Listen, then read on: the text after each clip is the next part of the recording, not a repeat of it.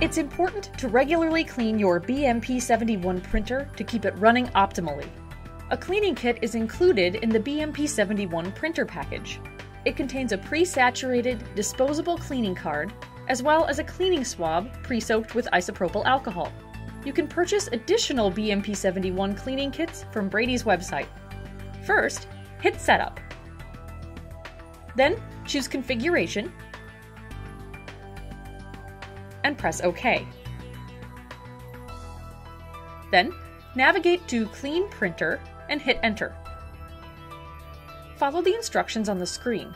Place the cleaning card in the label compartment of the printer, inserting the left edge of the card up to the black line under the ribs. Close the printer cover, ensuring that it latches. Press the OK button to initiate the cleaning routine.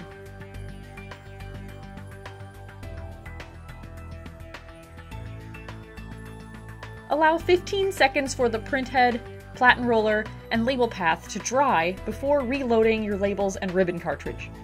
To clean the two sensors, use a pre-soaked swab to gently wipe each sensor located here and here. Once the components are dry, you can reload your materials and resume your printing.